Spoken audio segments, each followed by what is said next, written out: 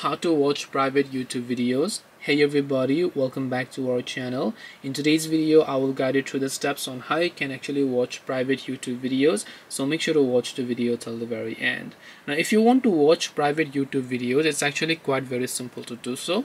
Because all you have to do is there are two scenarios. One is if you're talking let's say someone uploaded a video but then they made it private right after you watch the video and then you want to find out what the video is really about. In that case there is no way you can actually view that private video unless the creator of that video or that channel makes it public or creates it that unlisted and gives you the link to view that video. So you have to have the link access. But let's say you're talking about your own channel. You have happened to add some videos but you have not published them and they are still in your draft.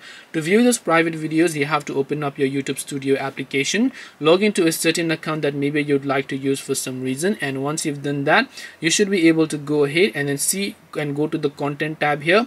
When you go to content you'll be able to see all the private videos here as well.